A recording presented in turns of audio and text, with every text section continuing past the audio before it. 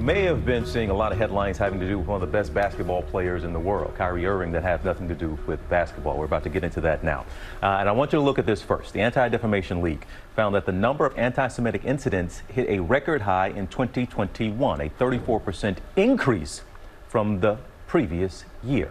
And yes, now one of the biggest names in sports facing backlash for spreading anti-Semitism. NBA star Kyrie Irving off the Brook of the Brooklyn Nets shared a link last week on social media to a 2018 film that's been described as anti-Semitic, leading to a heated exchange with ESPN's Nick Friedell during Saturday's post-game press conference. And joining us is ESPN reporter Nick Friedell himself and ABC News contributor and Los Angeles Times columnist LZ Granderson. Thank you both for being with us. All right, LZ, let's start with you here. For people who aren't familiar, don't want to tell them to go out and find this film and, and watch it or anything else.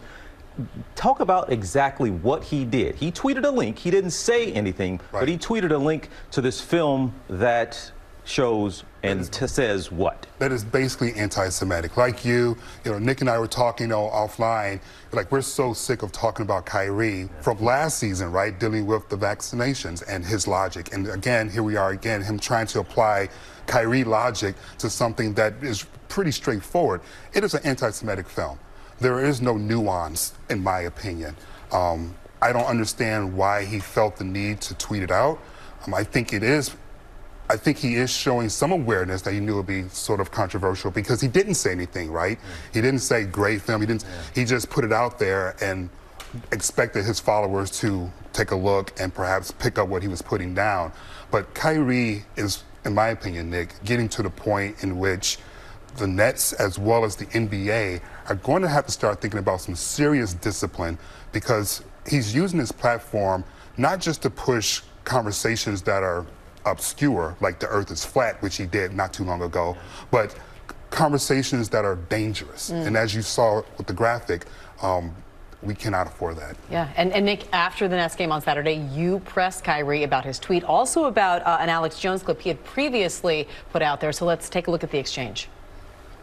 To follow up on the promotion of the movie and the book. Can you please stop calling it a promotion?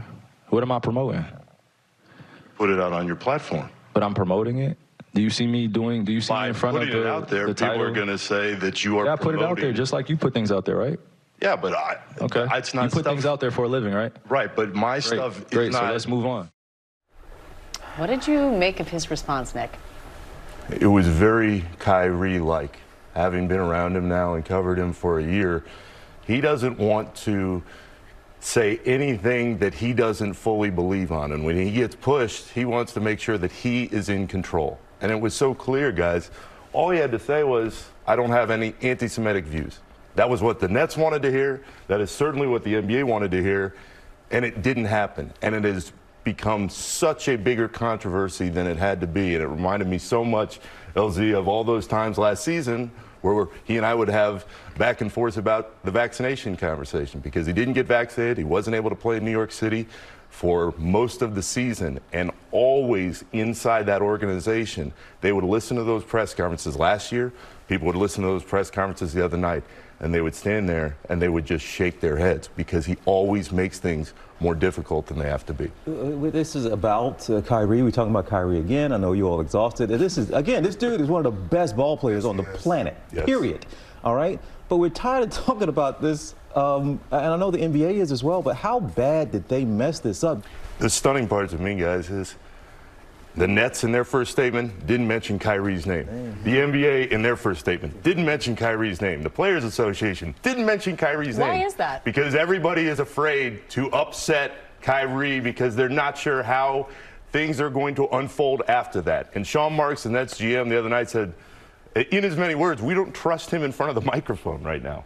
We don't want to put him out there because we're not sure what he's going to say. But moving forward, if he now doesn't, the next time he speaks publicly, come out and say what the Nets want to hear and what the league wants to hear, I think there is a chance that everybody involved kind of says, as fantastic as he is as a basketball player, the off the court drama that surrounds him all the time may not be worth it. And again, I, and I just want to make sure we're clear. We're not saying we don't want you to say things people don't agree with. Exactly. And we're not saying we don't want you to express how you feel. But you need to take some accountability too. If you're if you're promoting anti-Semitism, don't get into a tit for tat with the reporter who calls you out on it and make it sound as if you're being attacked. That's irresponsible and juvenile to me. LZ, Nick, thank you. And we do want to mention that the Nets, Kyrie Irving, and the Anti Defamation League have issued a new joint statement announcing the Nets and Kyrie Irving will each make a $500,000 donation towards eradicating hate.